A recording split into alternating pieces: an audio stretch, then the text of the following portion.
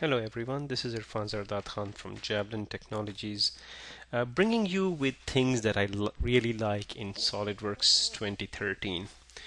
Today I will be talking about sensors. So pretty much the sensors have stayed the same since quite a long time. However, in SolidWorks 2013 there is a new type of sensor. So let me just show you. So under simulation data, uh, choose whatever quantities you want to select and you can actually create a sensor and the type of that sensor can be transient.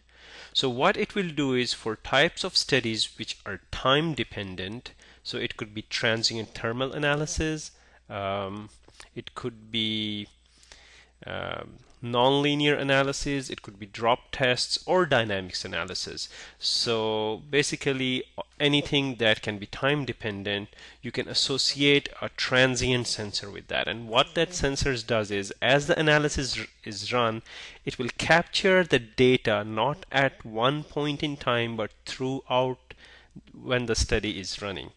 And so this is a dynamic study and we applied a shock loading to this uh, uh, member over here and uh, as a result of that this is going to vibrate now. So uh, what we did is we are we created this sensor the tip displacement at that tip of this pipe. So now as soon as I hover over it so previously you remember that sensors display just a simple uh, number which is being recorded by the sensor. In this case, you actually get to see the transient sensor graph. So with time, how the values of this sensor are changing.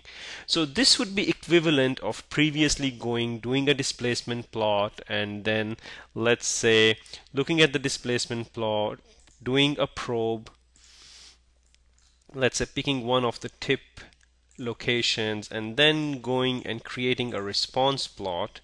So now instead of doing all that in SolidWorks 2013 if you have that transient surf, uh, sensor defined just go right click hit graph transient sensor versus time and in the y-axis we'll put the displacement and there you go.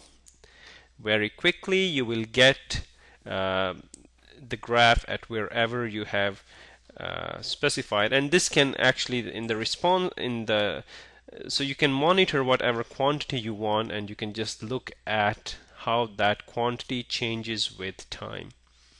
Right. I hope you will find this new enhancement useful for yourself